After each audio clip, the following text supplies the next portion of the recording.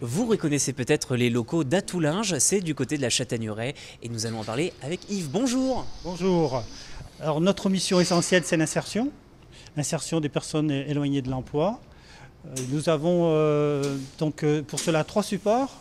Un, su- un support ici actuellement que vous visitez c'est la blanchisserie. Donc sur ces trois supports nous avons jusqu'à 80 personnes à l'année qui viennent et qui sont suivies par euh, 11 permanents. Euh, donc en fait, euh, nous sommes une véritable entreprise sociale apprenante. Entreprise parce que nous avons un chiffre d'affaires à réaliser.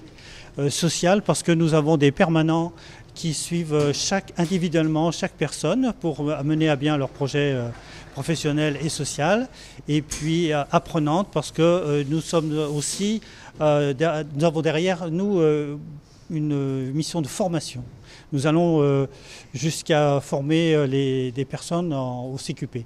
Et, donc euh, vous, vous cherchez aussi des bénévoles et pour ce faire je vais me tourner vers Marcel. Bonjour Marcel Bonjour, nous sommes euh, 11 administrateurs hein, qui gérons, euh, prenons les décisions en termes de budget, en termes d'orientation euh, sur les différentes activités que nous avons. Alors les administrateurs sont très différents les uns des autres et on, on- profite de cette différence pour repérer toutes les compétences différentes et au service de nos ateliers.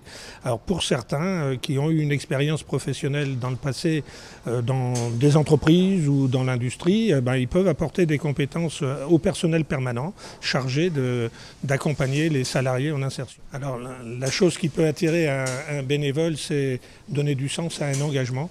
Euh, on, est, on est ici en tant que bénévole pour ben, rendre service euh, aider euh, une population qui est un petit peu à la peine. Et donc, euh, ça se fait d'une manière très discrète, hein, en fait, parce qu'on accompagne indirectement. hein, on, est administrateur d'une entreprise qui a cette mission de- d'aider ces personnes qui sont loin de l'emploi, qui ont été écartées pour des raisons X ou Y. hein.